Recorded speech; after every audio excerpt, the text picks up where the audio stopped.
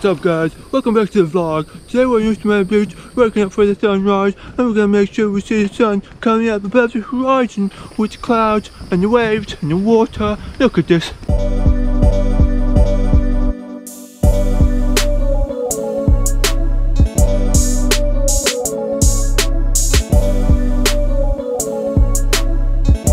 beach rise. Sunrise at the beach. Bye bye, beach rise. We'll see you next time. Let's clean this lens. See you next time. Bye beach. Rise. Bye beach. Bye, beach.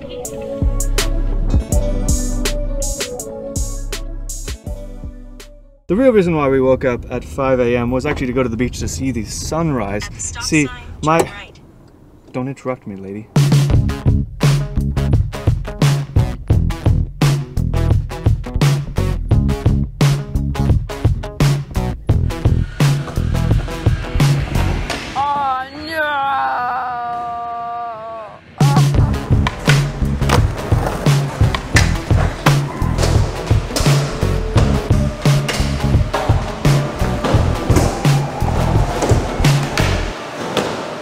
The real reason I got up at 5 a.m. was not actually just to skate the skate park of Tampa, but also to see a sunrise at the beach. For the longest time, I've been wanting to do what I call a beach rise, beach set trip, where you drive to the other coast during the day and then also see the sunset over the beach.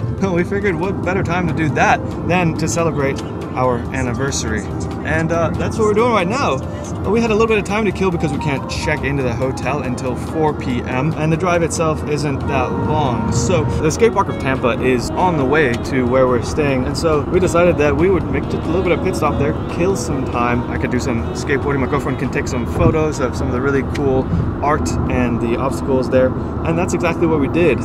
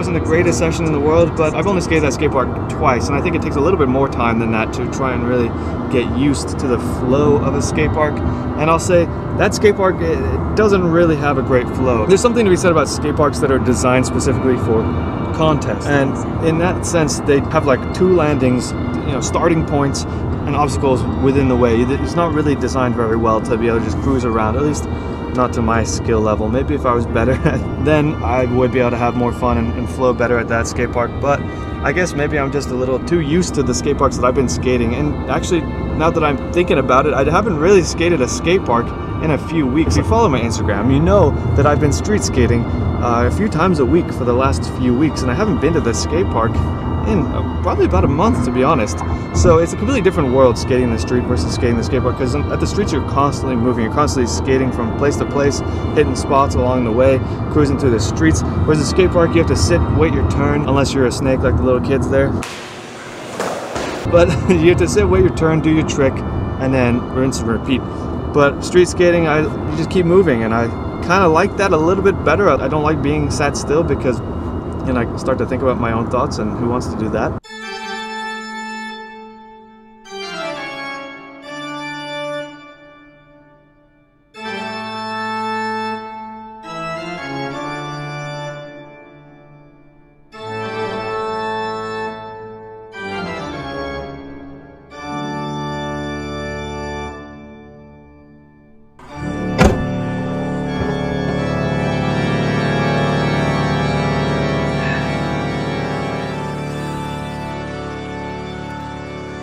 It's about 3 o'clock right now. We still got about an hour until we can check in to our hotel. And we decided to make a little, another little pit stop here. A little bit of a sadder pit stop. One of our cats passed away last year and his ashes are spread here at this pet cemetery right near about 30 minutes away from where we're staying. So we're gonna stop here. We're gonna say hi to him. This cemetery is beautiful. It's interesting as as humans we're so sentimental about how we regard our dead and we like keep cemeteries so well groomed and maintained like some of the most manicured lawns and like the most beautiful flowers and it's, it's really incredible. It's a nice place actually to just walk and spend an afternoon. Yeah. If you don't think about it too much, you don't think about what it really is.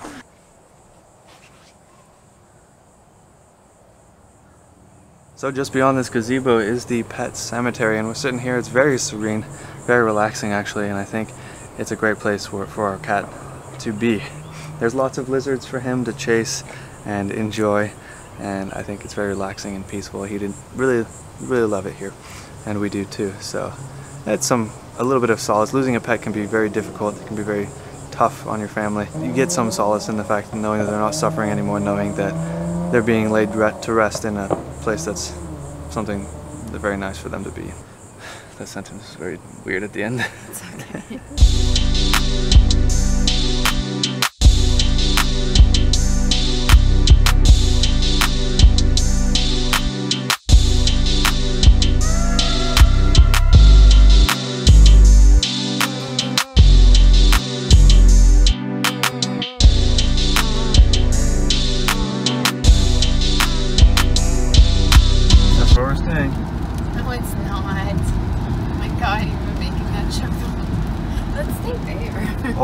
why, why did we go there?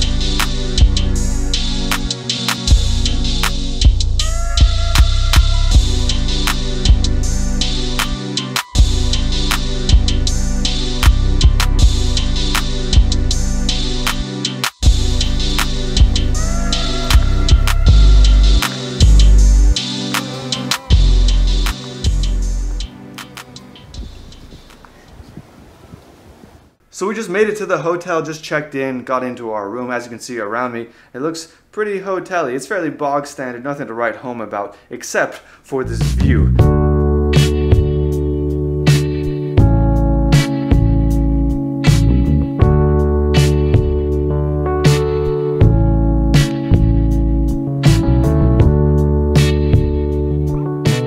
So we specifically purchased a room that has a west-facing view so that we could be able to see the sunset from our apartment. And this is what we got. The coastline is all the way within our field of view and we see just beach for miles and miles and miles. The sound of waves just emanates throughout the entire hotel room. It's like a sound machine, but real life, and it's absolutely exotic.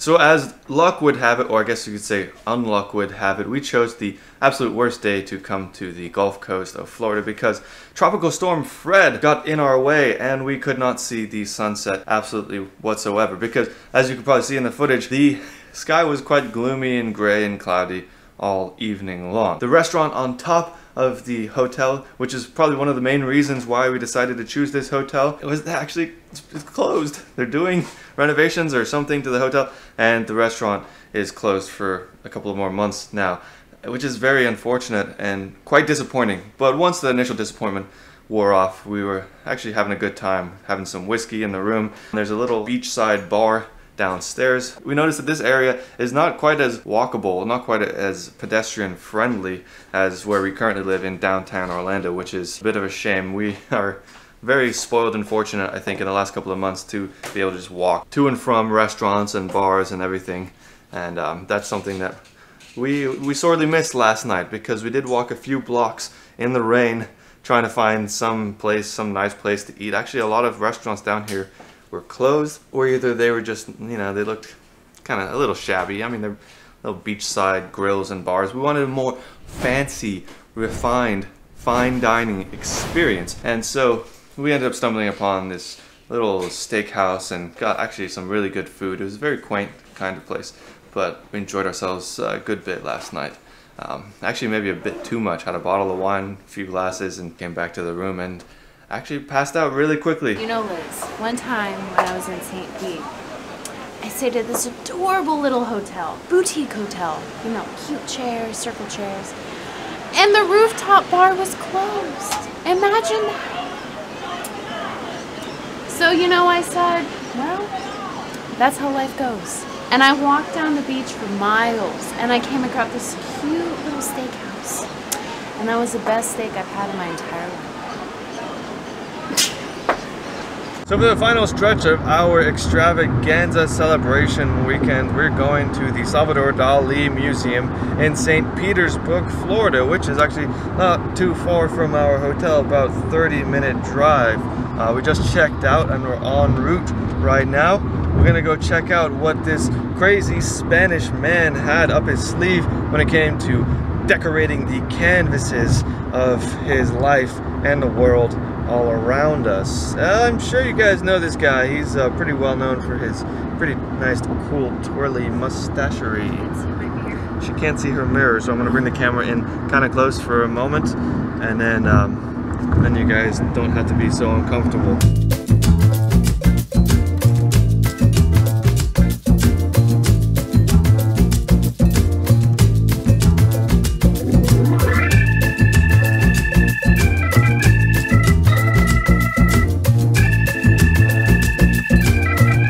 Up guys, welcome back to the vlog. Today we're at the Dolly Museum.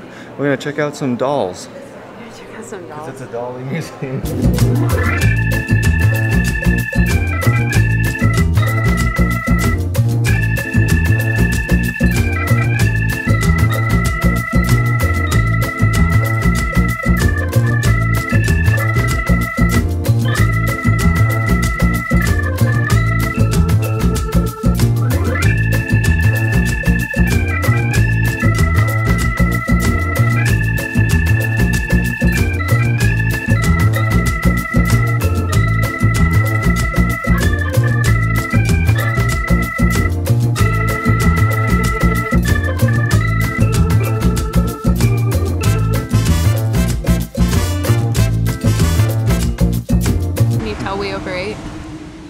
Can you tell?